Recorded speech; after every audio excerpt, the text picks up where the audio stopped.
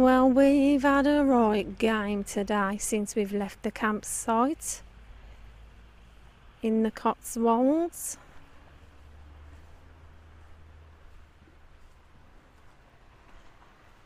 You can probably just about see us parked up over there. There we are, look. Parked in a paddock but only for a few hours.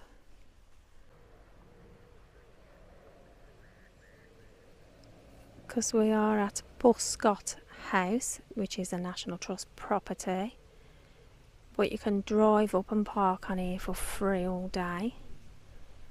And your doggy is welcome to run around on here on a lead. But unfortunately, no dogs in the gardens or grounds. So I'll have a quick mooch round on my own. Carl's gone back in the motor motorhome. The house isn't open anyway. But we wouldn't have gone in anyway. It is really quiet here. You wouldn't think it was the middle of August.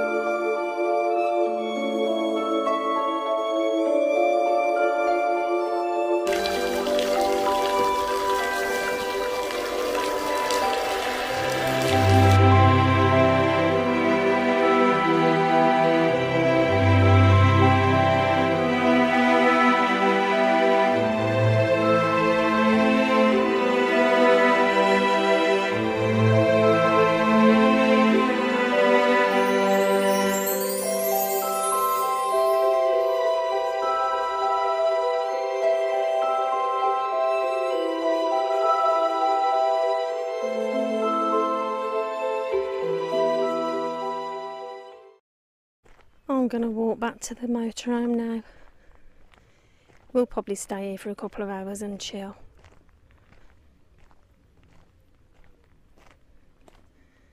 Beans we can.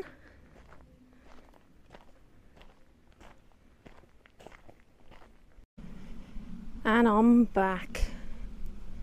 Cole's got all the windows and everything open, so it must be hot in there. It has warmed up again.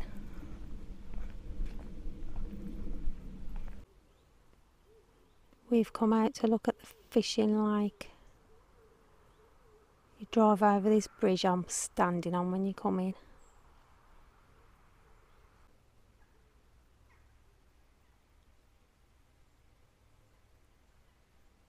We're just coming through Burford. There's the free parking down there. Oh, that looked nice down there as well. And tight. Lovely traditional Cotswolds village. We have come to Stow on the Wold and that parking there is for coaches and motorhomes. Ain't it? Yes, it is. It's a Yeah. bit steep. Make sure you got some high chocks. Yeah, we're on the highest on our big fat chocks, ain't we? Yeah. And with the air suspension up a bit. Air suspension on full.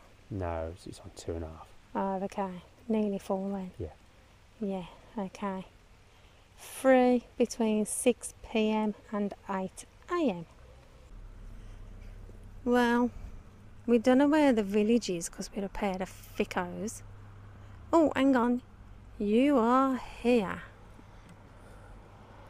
Right. I presume that road there then is Maugersbury.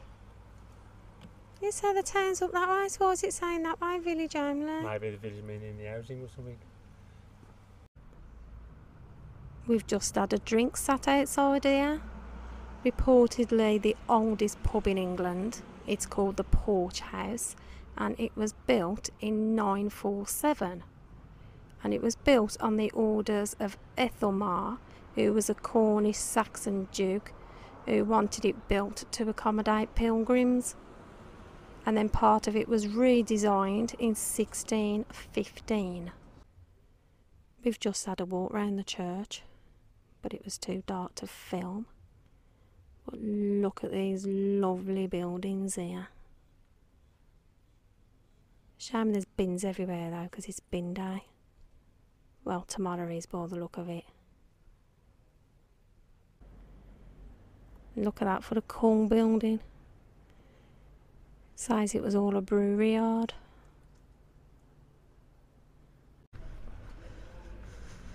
We got up super duper early. And there's still loads of traffic. Quiet at the minute. But believe me, it will start again. Cars parked everywhere. It's really busy, man. And there's the old town cross. And cars coming again. There you go. And another.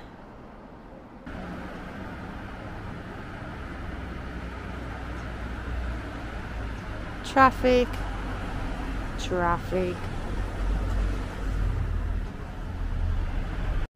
And we've come to walk round the church if we can get any quiet. St Edward's Church.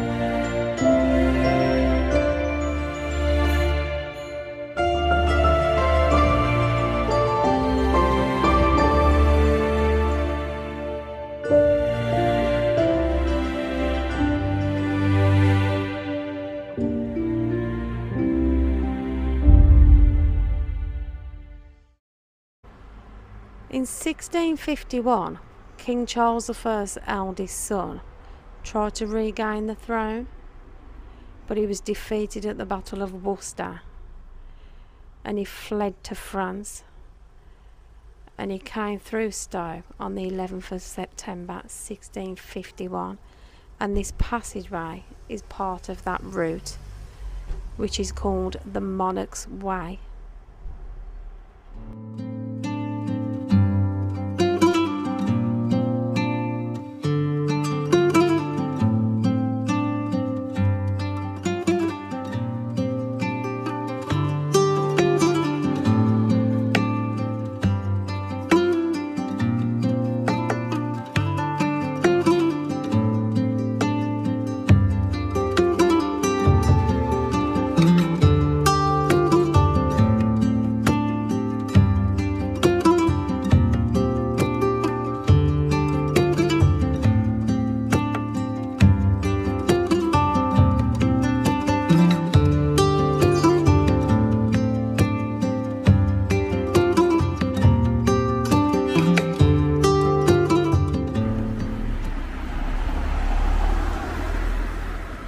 Go.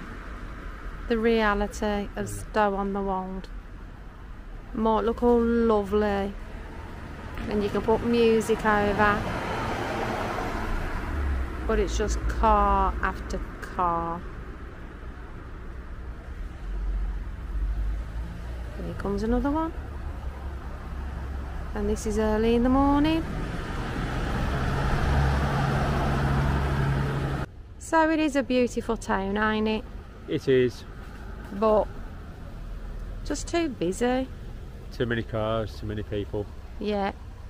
Not for us, is it? No.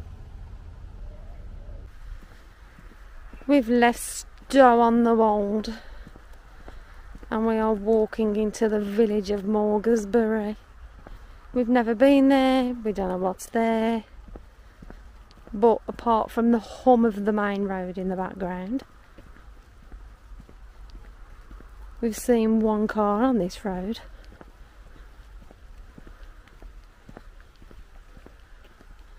Lovely to be away from all the hustle and bustle.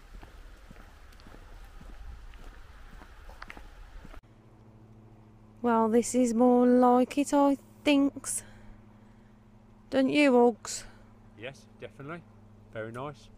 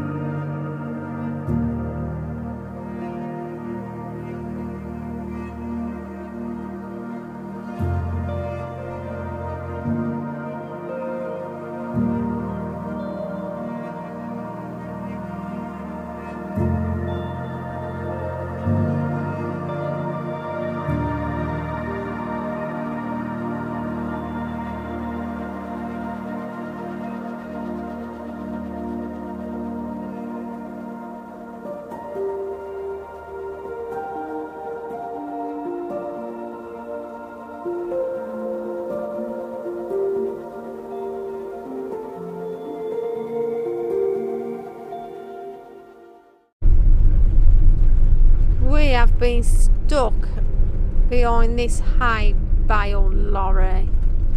Well, farmer tractor thing.